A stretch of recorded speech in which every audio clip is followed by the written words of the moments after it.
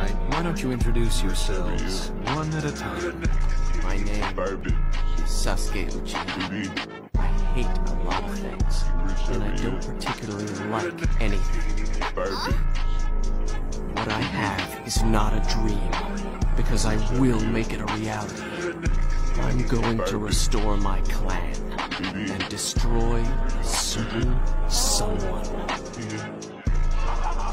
I hope he doesn't mean me.